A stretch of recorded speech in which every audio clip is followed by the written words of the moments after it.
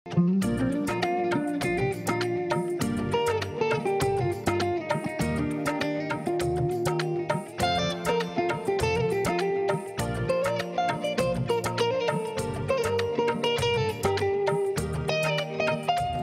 এসেছি মারমা সম্প্রদায়ের ঐতিহ্যবাহী একটি খাবারের দোকানে।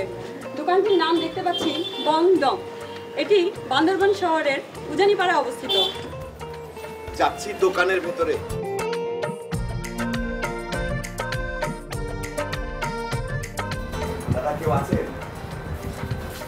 জি ভাইয়া। আচ্ছা দাদা আপনাদের এই এটা তো মারমার দোকান জি অবশ্যই। আপনাদের মারমার ট্রেডিশনাল কিছু ফুড আছে না? জি অবশ্যই আছে। এখন এই মুহূর্তে কি কি দিতে পারবেন? মুরগির শিক কাবাব আছে আর মুরগির চাটনি আছে আর আমাদের মারমাদের ঐতিহ্য খাবার হচ্ছে মুন্দি একটা যেটা বলে নুডলসের মতো ওটা আছে। আর আপনার সাবরাং পাতার ফ্রাই হবে।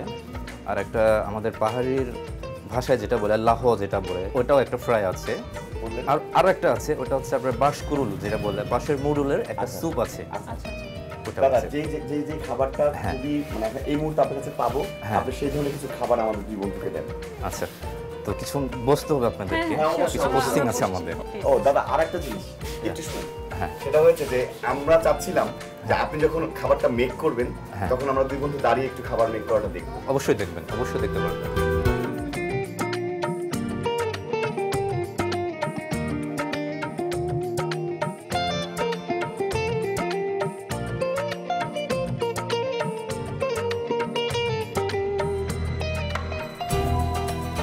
So, ভাইয়া হ্যালো ভাইয়া হ্যাঁ ভাইয়া আমার সব কিছু তৈরি আছে তো আপনার কি আসতে পারবেন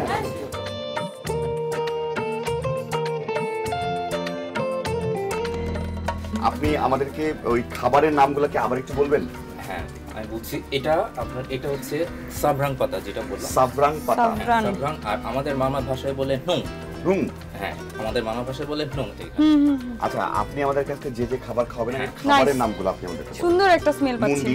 হ্যাঁ চিকেন কাবাব। হ্যাঁ chicken kebab chicken chutney. Chicken chutney. আর হচ্ছে সাবরাং ফ্রাই। সাবরাং ফ্রাই।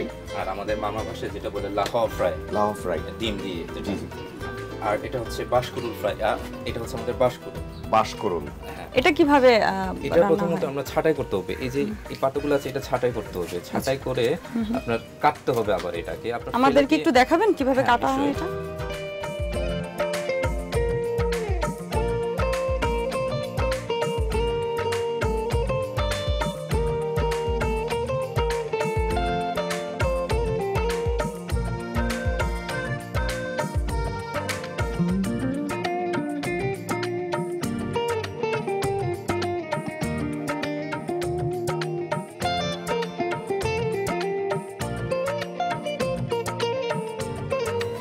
একটু ঝাল হয়। হ্যাঁ, যার কারণে আমরা সিদ্ধ করব। সিদ্ধ সিদ্ধ করে ওই ঝালটা আমরা ফেলে দেবো।